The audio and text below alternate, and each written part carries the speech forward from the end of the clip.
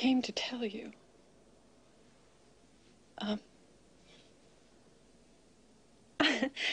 I, I just, I wanted to see you before.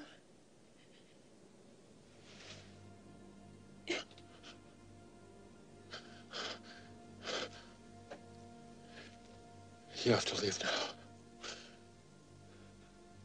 And never come back here.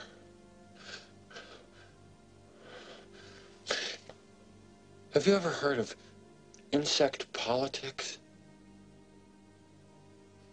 Neither have I.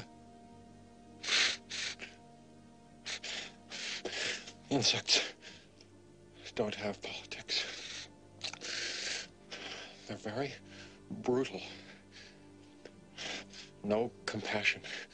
No compromise. We can't trust the insect.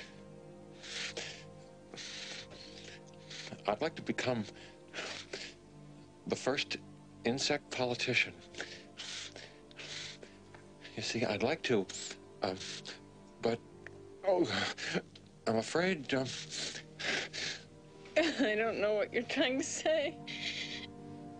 I'm saying,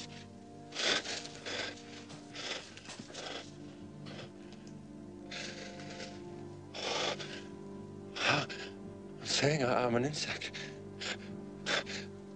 who dreamt he was a man and loved it. But now the dream is over and the insect is awake.